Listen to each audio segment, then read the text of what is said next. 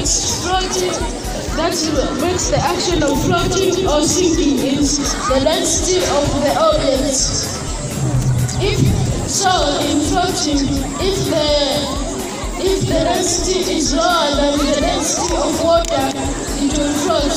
So, even sinking, when the density is lower, the, when the density is higher than the density of water, it sinks.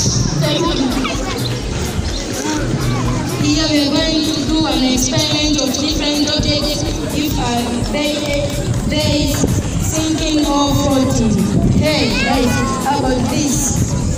Is it floating or sinking? It floats. It's sinking. Why do you say it floats? Because I was reading a book, then I found that they say that uh, it's floating.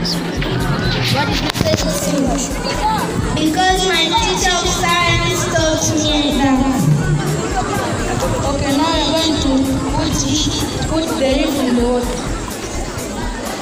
Guys, what is this action? Floating action. How about this? It's floating.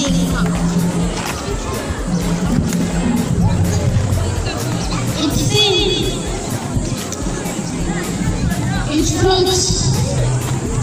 Why did you say it floats? Because I was watching TikTok, then I that it is floating. Why did you sinks? Because my mother told me. So let's see if it's or. What is this action? Sinking action. Guys, how about this question? Will it float or sink?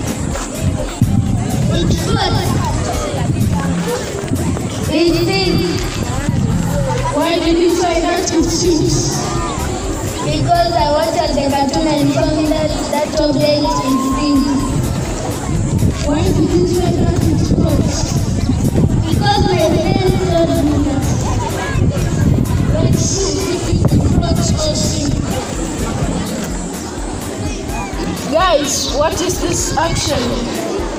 Floating action. How about this object? It floats or it sinks? Is this bottle floating or sinking? Floating action. Floating action. Floating action. Object that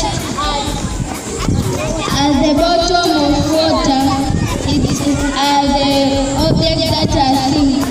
And what makes the object to sink? It is the heavy density of an object than water. And things that are upper